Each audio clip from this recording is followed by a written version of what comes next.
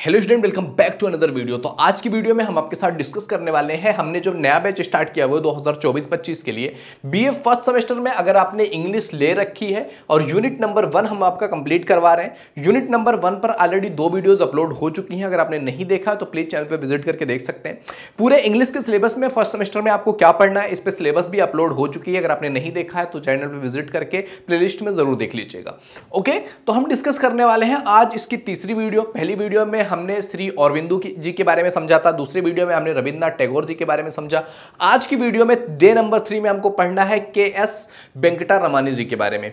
इनके बारे में समझना है, इनके योगदान के बारे में समझना है, इनकी इंपॉर्टेंस इन इंग्लिश लिटरेचर ये समझना है तो पूरा आज हम समझने वाले हैं और हम अपने एक स्टाइल में चीज़ें समझते हैं कि पहले हमको इंट्रोडक्शन कंट्रीब्यूशन उनके फ़ेमस वर्क इन सब चीज़ों के बारे में अच्छे तरीके से समझना है। तो देखो, अगर सबसे पहले बात करें इंट्रोडक्शन के बारे में कि के एस वेंकटा रमानी का इंट्रोडक्शन क्या है। तो सबसे पहले बात करते हैं इनका फुल नेम क्या है के एस वेंकटा रमानी जी का। तो इनका जो फुल नेम है, वो है आपका कावेरी पंथम सिद्धार्थ वेंकटेश्वर रमानी। ओके क्या है? कावेरी पथम, सिद्धार्था वेंकटा रमानी इनका जो जन्म हुआ ना, ये शॉर्ट फॉर्म है के एस का, ये फुल फॉर्म है। बॉर्न हुए ये 1891 में, अठारह सौ इक्यानवे में।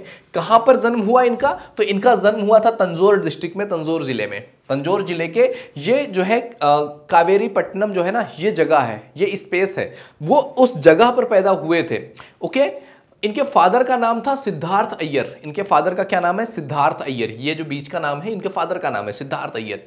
जो जाने जाते थे, इनके पिता को जाना जाता था लैंडलॉर्ड के रूप में मतलब वो एक वहाँ के जाने माने लैंडलॉर्ड थे, जिनको समझा जाता था या लैंडलॉर्ड के रूप में देखा जाता था, एक बड़े नाम था इनके पिता का। ओके? तो ये बेसिकली इनका एक इंट्रोडक्शन हो गया कि इनका नाम क्या है, इनका जन्म कब हुआ, इनके फादर का क्या नाम है, इनका, इनके फादर किस रूप में जाने जाते हैं। अब बात करते हैं कुछ कंट्रीब्यूशंस के।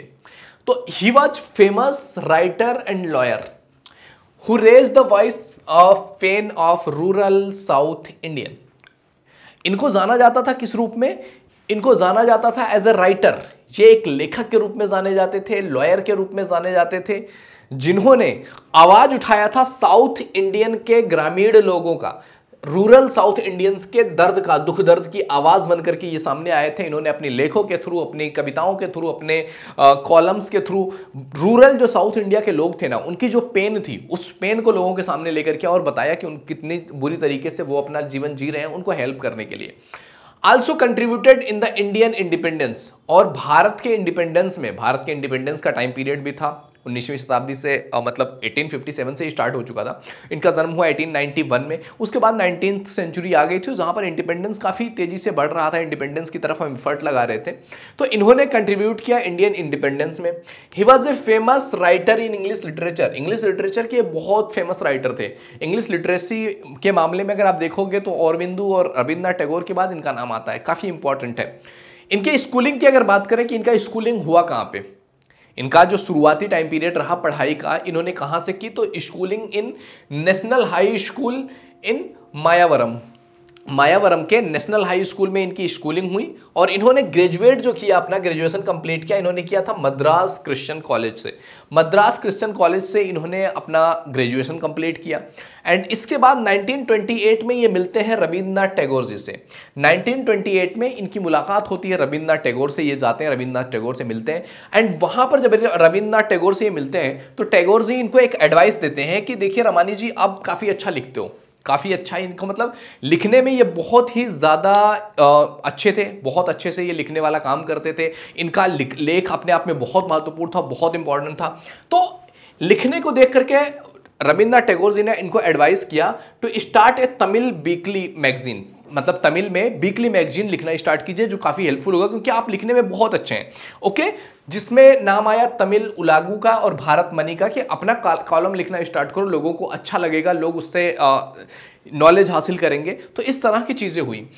ये अपने पास हेड पेनचार्ट पेनचार्ट रखते थे for writing from early time मतलब शुरुआत से ही ये पेनचार्ट रखते थे कि मतलब पेन रखा है पेपर रखा है चार्ट रखा है जो भी उन्हें समझ में आ रहा है, जो भी उनकी नॉलेज है एक्सपीरियंस है, जो जो देखते थे, समझते थे, वो लिखना स्टार्ट कर देते थे। तो हमेशा इनके पास एक पेनचार्ट होता था क्योंकि ये शौकीन थे लिखने का, इनका मन करता था लिखने का, इनके अंदर वो इनहेरेंट ही था राइटिंग का। तो ये चीज़ें इनके अंदर थी। इन्होंने gave speech at the 16 on जो है protesting partition of Bengal and got मैं in the magazine the Indian patriot यानी कि ये जब 16 साल की एज में थे ना तो उन्होंने एक स्पीच लिखा हुआ था, एक स्पीच दिया हुआ था on protesting partition of Bengal partition of Bengal 1905 में होता है तो उस समय उसके अगेंस्ट में प्रोटेस्ट करते हुए इन्होंने एक भाषण दिया हुआ था और इनको मेंशन किया गया मैगजीन में, कौन से मैगजीन में? इंडियन पैट्रियोट्स इस मैगजीन में इनको 16 साल की एज में मेंशन किया गया। मतलब आप समझ सकते हैं कितना ज़्यादा इनके अंदर प्रतिभा थी, कितना ज़्यादा इनका नाम था, कितना ज़्यादा लोग इनसे प्रभावित होते थे। तो उस समय मैगजीन में इनका नाम आया। अब बात करते हैं अगर इनके पहले बुक की, कि इनकी फ़र्स्ट बुक जो थी पेपर बोर्ड्स इनके पास बुक का क्या नाम था? पेपर बोर्ड्स जो कि बेस्ट बंगाल के बारे में बताया गया था 1921 में आया हुआ था, जो कि डिस्क्राइब करता है rural life in Bengal Bengal में जो ग्रामीण लोग हैं, उनका जीवन कैसा है? रूरल लाइफ कैसा होता है ग्रामीणों का? उसके बारे में बात किया गया। इनकी पहली नोबेल के बारे में अगर बात करें, कि इनकी फ़र्स्ट नोबेल कौन सी थी? तो इनके फ़र्स्ट नोबेल का नाम है मुर्गन द टिलर, जो कि 1927 में लॉन्च होती है। ये मुर्गन द टिलर, ये इनकी पहली नोवेल थी। काफ़ी ज़्यादा फ़ेमस नोवेल हुई इनकी। ओके इनकी एक बुक थी कांडोन द पैट्रियोट।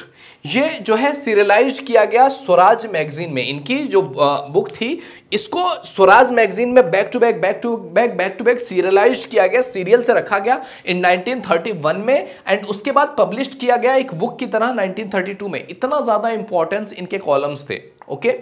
इनके फ़ेमस वर्क में फ़ेमस बुक्स में बात किया जाए तो जो है सेंडोन्स आता है 1923 में इन्होंने लिखा था। रेनोस्टेंट इंडिया आता है, जो कि 1929 में इन्होंने लिखा था। तो ये थे इनके कुछ फ़ेमस वर्क इनके कंट्रीब्यूशन और इनके बारे में समझा गया हमने। तो ये के एस वेंकटा रमानी जी के बारे में हमने पूरा समझ लिया कि के एस वेंकटा रमानी का जन्म कैसे, कहाँ पे हुआ, उनका पढ़ाई कैसे रहा, वो किस तरह से उन्होंने काम किया कौन कौन से कंट्रीब्यूशन किया, लोग किस तरह से जानते हैं, किस तरह से उनका इंपॉर्टेंस था। ये सारा कुछ इस वीडियो में हमने कवर कर लिया है। आई होप वीडियो तुम्हें समझ में आया होगा। वीडियो समझ में आए, पसंद आए तो लाइक ज़रूर कीजिए। पहली बार चैनल पर आए तो please visit the channel if you think it is valuable तो आप सब्सक्राइब कर सकते हैं। एंड आने वाले वीडियोज़ का आपको नोटिफिकेशन मिलता रहे। इसके लिए चैनल को सब्सक्राइब करके बेलाइकन ज़रूर हिट कर लीजिएगा। ओके मेरे दोस्त तो मिलते हैं आपसे अगले वीडियो में तब तक के लिए जय हिंद जय भारत।